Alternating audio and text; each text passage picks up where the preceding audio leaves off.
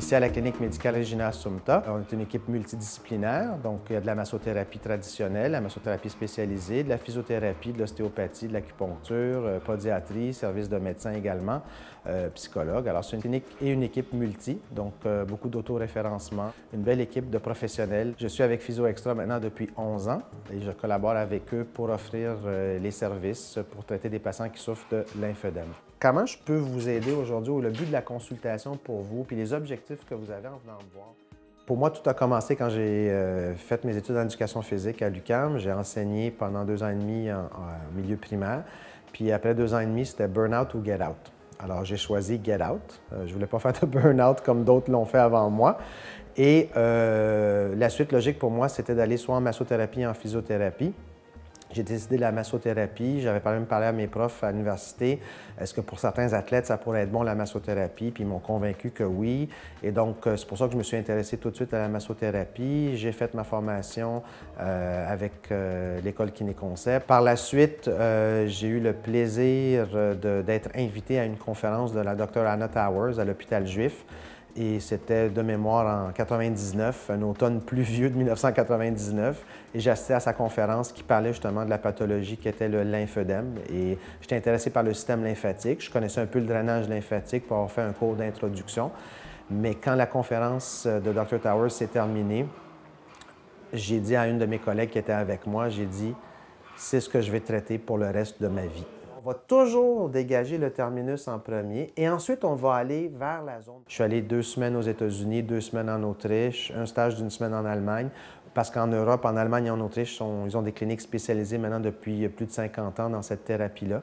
Alors, j'ai décidé de me former là-bas et de revenir avec les connaissances pour euh, euh, traiter des gens qui souffrent de pathologies lymphatiques. Moi, c'est une clientèle que j'adore travailler avec. C'est euh, une, reconnaissance presque immédiate de la part des clients. Euh, c'est un merci au bout de deux, trois traitements. Je ne savais pas que ça pouvait m'aider tant que ça. J'ai été pris avec cette condition depuis 10 ans, 15 ans, 20 ans, et vous, en trois jours, euh, je me sens mieux.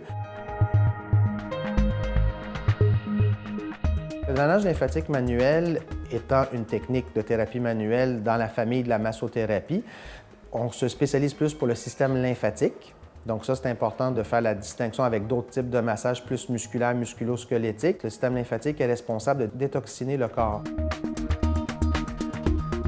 Dans le cas du système lymphatique, ça retourne vers des ganglions, donc des zones de filtration, de purification, et les ganglions se déversent par la suite. Pour devenir massothérapeute, au Québec, il n'y a pas de réglementation. Il peut y avoir des écoles reconnus par la FQM, comme d'autres écoles qui ne sont pas reconnues, qui n'offrent pas le profil de formation que la FQM a mis de l'avant il y a plusieurs années.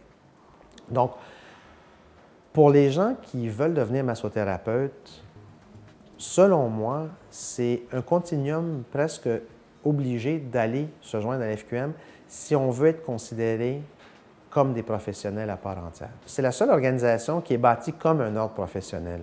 Alors que ce soit avec le comité d'inspection professionnelle, le syndic. Donc, il y a la sécurité pour le public. On, assure au public que les gens vont faire affaire à quelqu'un qui est professionnel, donc qui a une bonne formation, qui doit respecter un code de déontologie.